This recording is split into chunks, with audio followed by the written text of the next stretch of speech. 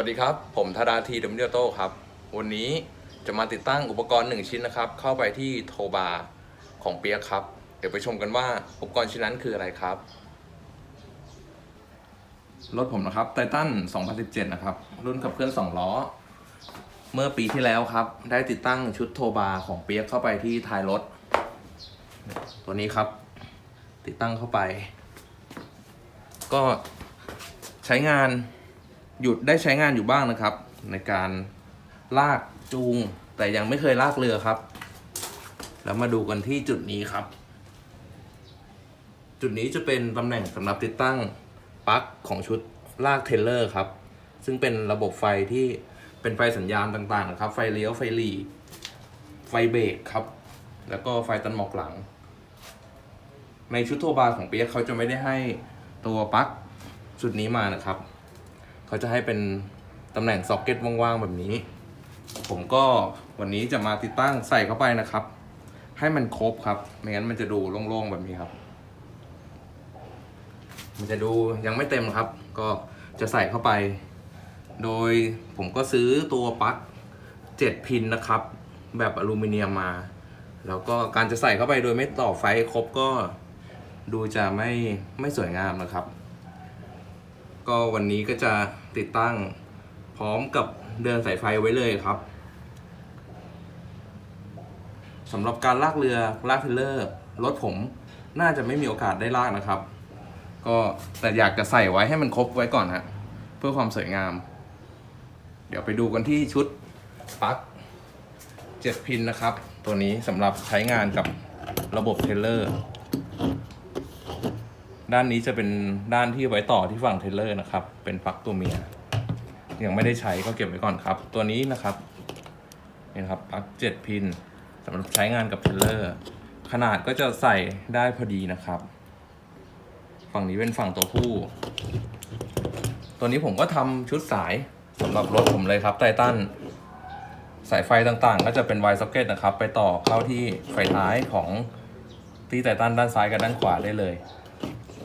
มาดูกันที่เดี๋ยวผมให้เปิดให้ดูด้านหลังของปลั๊กนะครับสำหรับตัวปลั๊ก7พินนะครับเขาก็จะมีมาตรฐานการต่อเป็นมาตรฐานอยู่แล้วครับ แล้วก็ต่อให้ตรงตำแหน่งแล้วก็สีของสายไฟให้ตรงกับมาตรฐานนะครับแบบนี้ ด้านนี้การต่อไม่มีอะไรครับ มันเป็นเป็นน็อตไขเข้าไปได้เลย ทั้งหมด 7 เส้น มาตรฐานก็สามารถค้นหาได้จากอินเทอร์เน็ตได้เลยนะครับสำหรับผมผมก็ ค้นหามาแล้ว เดี๋ยวจะลงไว้ให้ดูเป็นไกด์นะครับ นี่นะครับ ก็ไปเทียบจากชุดอ c เซสซอรีของ Mitsubishi นะครับ ตัวนี้ 7 พิน รูปนี้ก็คือมองจากด้านหลังของปลั๊ก7 พินตัวนี้เลย ที่ปลั๊กตัวนี้เขาจะมีหมายเลขมาร์กบอกแล้วนะครับ หนึ่งสองสามสี่ห้าหกเจ็ดวนตามรูปนี้ครับ แล้วก็สีของสายไฟถ้าเราต่อเอาแบบตามมาตรฐานมันก็จะเป็นสีตามนี้ครับ แล้วก็หน้าที่ของสายไฟแต่ละเส้นนะครับ ช่องที่ 1 เป็นไฟเลี้ยวซ้ายครับ ช่องที่ 2 เป็นไฟตัดหมอกหลัง ช่องที่ 3 จะเป็นกาวครับ ช่องที่ 4 เป็นไฟเลี้ยวขวา ช่องที่5นะครับจะเป็นไฟหลีข้างขวาครับ ช่องที่ 6 เป็นไฟเบรกแล้วก็ช่องที่ 7 เป็น ไฟหลีข้างซ้าย สีของสายไฟก็ตามนี้เลยนะครับ เพื่อเป็นไอเดียสำหรับท่านที่จะนำไปใช้งานนะครับ แต่สำหรับผมก็ต่อไว้เป็นมาตรฐานก่อน แล้วก็การใช้งานค่อยว่ากันนะครับ น่าจะไม่ได้ใช้ครับ เดี๋ยวไปชมการติดตั้งกันนะครับ ติดตั้งโดยเริ่มจากติดตั้งปลั๊กตัวนี้เข้าไปที่ตำแหน่งก่อนนะครับ แล้วก็ไวริงสาย ไปหา ปลั๊กที่คงไปท้ายนะครับ ข้างซ้ายและข้างขวา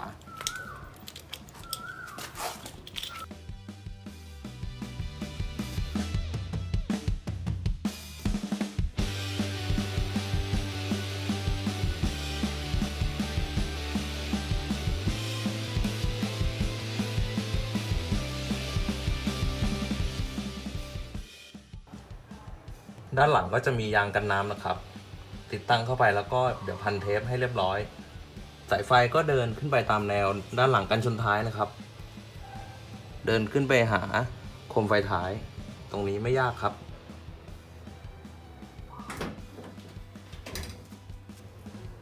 ไฟท้ายครับ ถอดโดยการถอดน็อตเบอร์สิบนะครับสองตัวครับ ถอดน็อตออกสองตัวนี้แล้วก็ดึง ดึงไฟท้ายออกมาตรงๆนะครับ ดึงถอยไปด้านหลังรถอย่างนี้นะครับสำหรับปี 15-18 ตัวนี้จะตึงหน่อยนะครับ เพราะจะมีกิบล็อกอยู่ตรงปลายนี้อีกหนึ่งตัว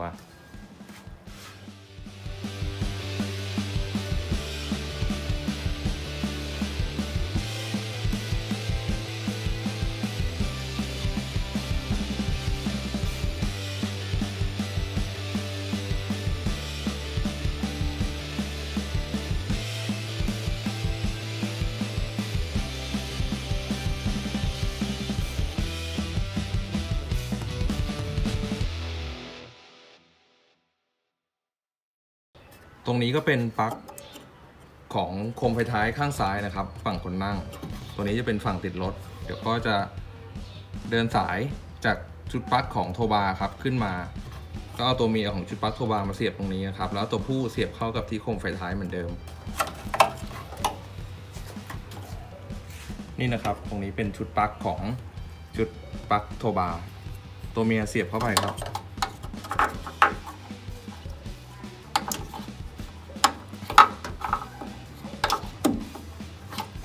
สียบให้เข้าเคี่ยวล็อกนะครับเรียบร้อย ตัวนี้ก็เดี๋ยวเสียบกลับคืนที่ไฟท้ายครับ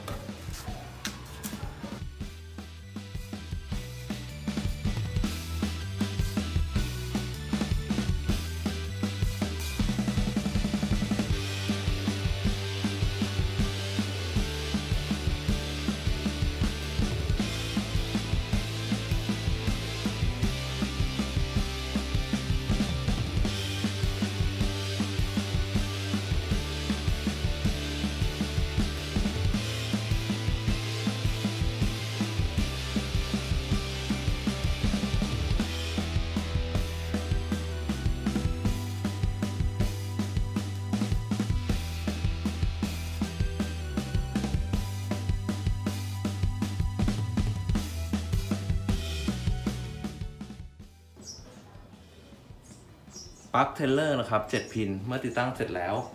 กับโทบาของเปียกครับ จะออกมาเป็นแบบนี้ สวยงามครับ ดูไม่โล่งเหมือนเดิมนะครับที่ไม่มี ก็ติดไว้ก่อนครับ จะมีโอกาสได้ใช้หรือไม่ก็ค่อยว่ากันทีหลังครับ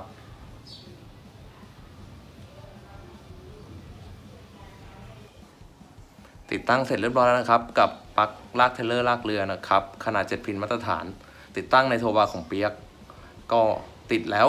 มีไว้เราไม่ได้ใช้นะครับ ก็จะดีกว่าจะใช้แล้วมันไม่มีนะครับ อย่าลืมกดติดตามช่องทาดาทีเดมเดโตไว้ด้วยนะครับ แล้วพบกันใหม่คลิปหน้าครับ สวัสดีครับ